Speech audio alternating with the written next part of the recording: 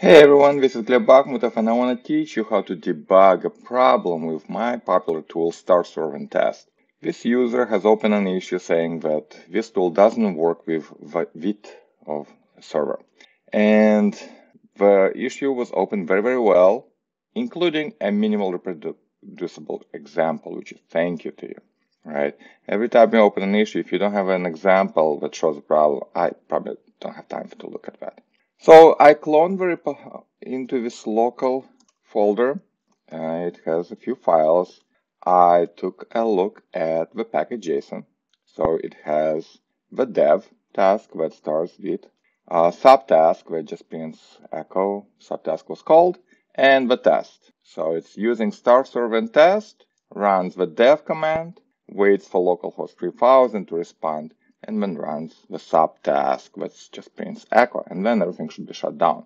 If I run npm run test, then I can see the Vite server is working.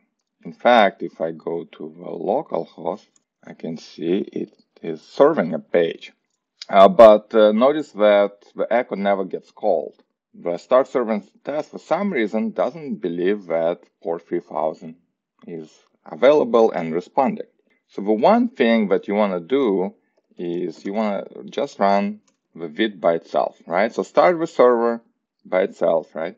The second thing you want to do is you want to make sure that the localhost 3000 responds to the head request, right? Not to the get request, but to the head by default, because that's what it's using to ping the server to make sure it responds. So how do you do that? Well, you can say curl, right, head HTTP localhost 2000.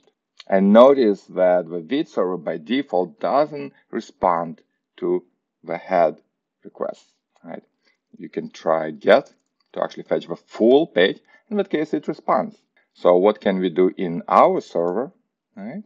We can say, well, instead of just using the head by default, which is what start-server-and-test uses, use the get. And that's, this is the format that you uh, write it.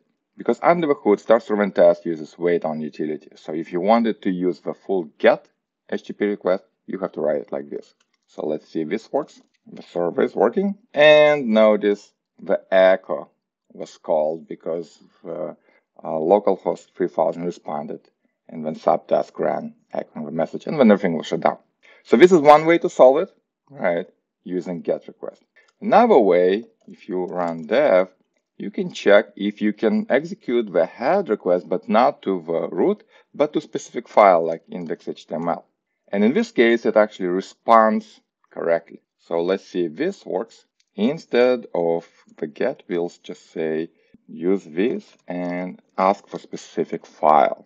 Vite server has started and then responded to the index.html and the subtask has run. So this is how you debug a problem if you have a server that doesn't respond for some reason, make sure that it responds to the head or use the get method.